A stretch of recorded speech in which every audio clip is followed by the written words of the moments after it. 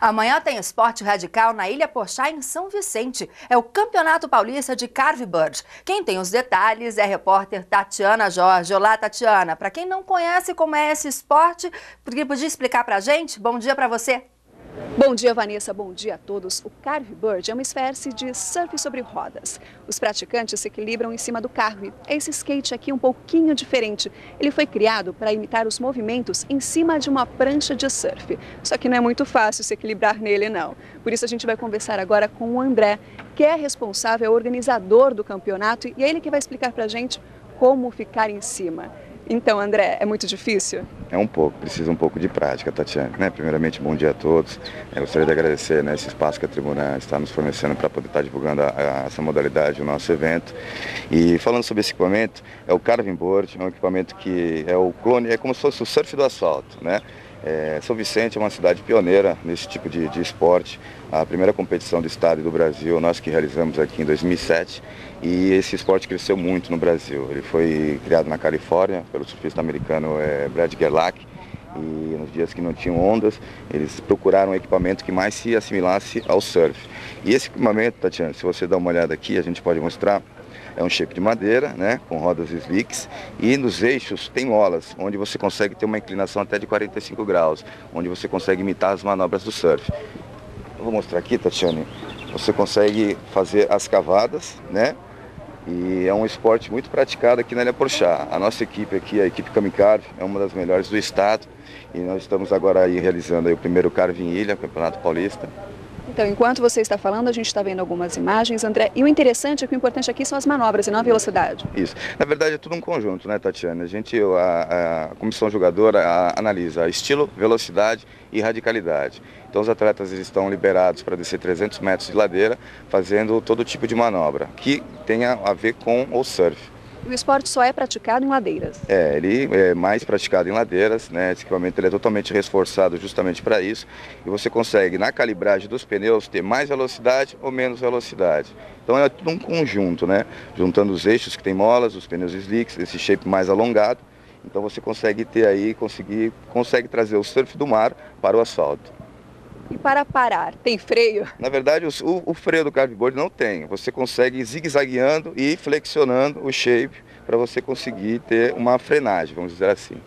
Nós vimos algumas imagens do pessoal caindo, isso é muito comum, é preciso usar equipamento. Totalmente, é, até a competição não desce ninguém, não, nem entra na competição se não tiver os equipamentos obrigatórios, que é capacete, joelheira, cotoveleira, as luvas que também são necessárias para a realização das manobras.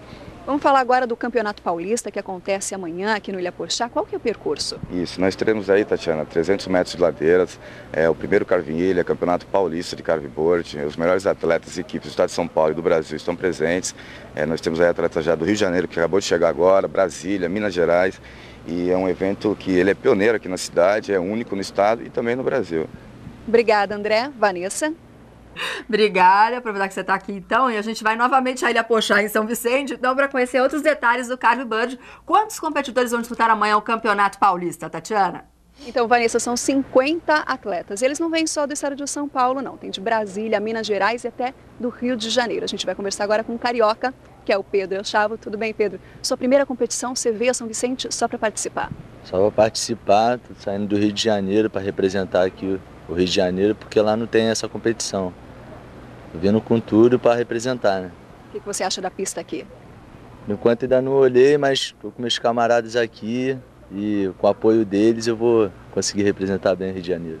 Obrigada, boa sorte. Então a gente vai conversar agora com o Jorge Malvadão, ele que é campeão brasileiro da modalidade e que começou no Cave Bird por acaso, né? Você era surfista, não tinha muito tempo e resolveu ir aqui para a pista. É, na verdade é isso. A gente tem que trabalhar o dia inteiro e né, só pega onda final de semana. Aí conheci o carveboard, que é o surf no asfalto, e começamos a praticar, porque a gente tem a chance de praticar à noite, né, depois do trabalho.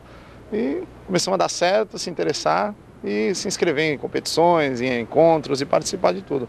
Formamos uma equipe, que é a equipe Kamicarve, que hoje está aí representando São Vicente pelo país. É uma equipe grande, né, que participa de todos os campeonatos. É, nós somos em sete atletas e a gente participa de tudo que é competição, encontros de carveboard, e a gente procura sempre estar presente.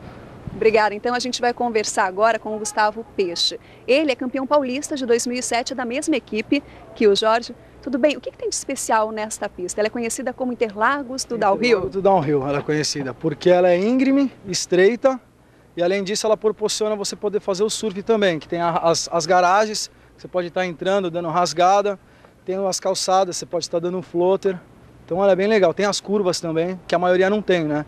De todas as pistas que você já competiu, qual é a diferença dessa principal? Então a diferença é essa, que tem as garagens, tem, a, tem os, as guias, que nas outras não tem. As outras são largas, são íngreme, mas não tem essa possibilidade de você estar tá, tá podendo fazer o surf, né? Então essa competição é especial para vocês? É, especial, bastante especial. Ainda mais na nossa casa, né? Onde a gente anda todo dia. Obrigada, Gustavo. Boa sorte. Então agora a gente vai conversar com o Bressani. O Bressani ele é pioneiro no esporte aqui em São Vicente. E sabe como é que o pessoal conhece? Como especialista em criar manobras. Tudo bem, Bressani? Então é muito difícil criar manobra? Manobra tem todo um ritual? Não, com certeza, né? Primeiro a gente, na ladeira, a gente tem uma ideia, depois a gente dá uma trabalhada nela em casa e depois coloca ela no pé. Então, eu vou pedir para o pessoal trazer para você um skate aqui, pode ser, por favor? Um Carve, né, que é um skate modificado. Você mostra para a gente alguma coisa, então?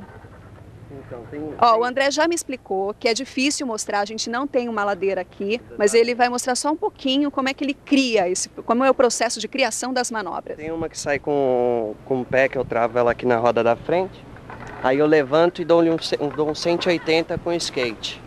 E tem a outra que o nome é muito comprido, que eu ia pedir até pro Jorge Malvadão me ajudar aqui, que eu ainda não consegui decorar o nome dela. Jorge, qual é o nome da manobra? É. É o Hang 5 no foot 45 graus em grebe. Tá, eu vou deixar para pronunciar esse nome na próxima edição, tá? Eu vou demorar um pouquinho para decorar também. Mostra pra gente como é que é. Que essa manobra é o seguinte, eu coloco o pé no, na ponta aqui, né? Eu chuto, que seria o no foot, e levanto aqui em 45 graus e continuo descendo com o skate.